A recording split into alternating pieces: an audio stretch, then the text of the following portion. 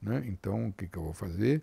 Eu vou criar um monte de empresas estatais, eram 40, foram para 400, né? no governo dele, 440. Então, era uma por semana.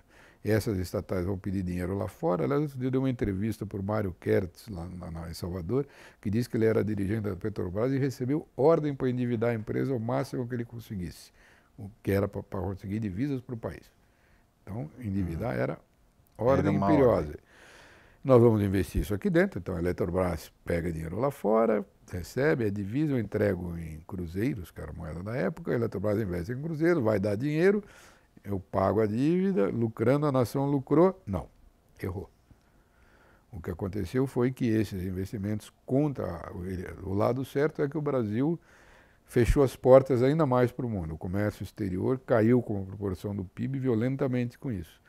Só que o mercado interno não cresceu e o comércio internacional cresceu. O resultado foi que